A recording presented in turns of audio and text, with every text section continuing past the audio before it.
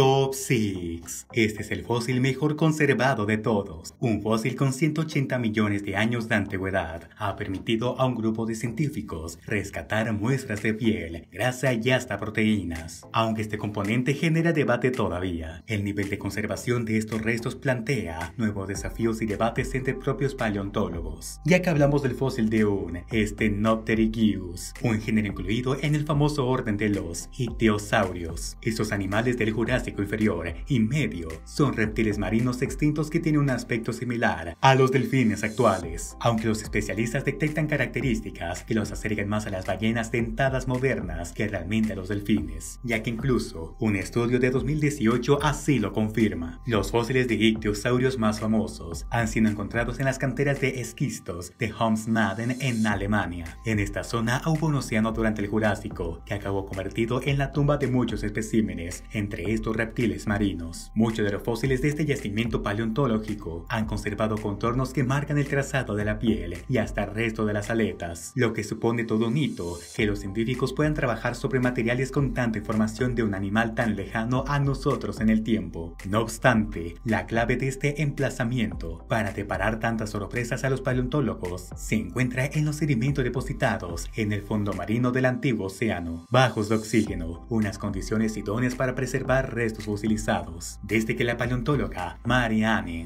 encontró el primer fósil de ictiosaurio completo en 1811, los investigadores no han cesado en aumentar el conocimiento acerca de este grupo de animales. Varios de los científicos que han tenido acceso a los fósiles mejor conservados han sospechado que los ictiosaurios tenían grasa al estilo de ballenas. Johan Lindgren, paleontólogo de la Universidad de Lund, se propuso en comprobar de una vez por todas qué certeza podremos tener acerca de estas sospechas de que realmente estén más aparentados con ballenas que con delfines. Junto con su grupo de investigación, sometió a cuantos análisis químicos pudo a varios fósiles de Ichthyosaurus. Entre los restos, hubo un espécimen que detectaba por extraordinario nivel de conservación. Nuestros análisis recuperaron restos aún flexibles de la piel sin escamas original, que comprende capas epidérmicas y dérmicas morfológicamente distintas. Estos están sustentados por grasa aislante, que ha aumentado la aerodinámica, la flotabilidad y la homeotermia. Lidren y su equipo fueron los primeros en encontrar grasa fosilizada. Además, los análisis permitieron reconstruir el color de la piel de los ictiosaurios. Como otros animales marinos, la espalda sería más oscura que el vientre, lo cual podría tener funciones de camuflaje y o como regulación de la temperatura corporal. Pero dime, ¿tú qué opinas acerca de todo esto? ¿Ya conoces al fósil mejor conservado de todos? Déjame tu respuesta aquí abajo en la caja de comentarios. Si quieres saber más acerca de este mundo y saber constantemente qué pasa en el mismo, te